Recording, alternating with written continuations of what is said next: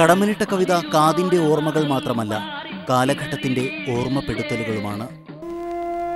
കാലാതീതമായ ഒരു സൂര്യനു കീഴിൽ ഉണ്മയുടെ തെരുവീഥികളിലൂടെ കവി പോകുന്നു. ഒരു വൃക്ഷത്തെ പോലെ ഒരു നദിയെപ്പോലെ കാലത്തോട് സംസാരിക്കുന്നു.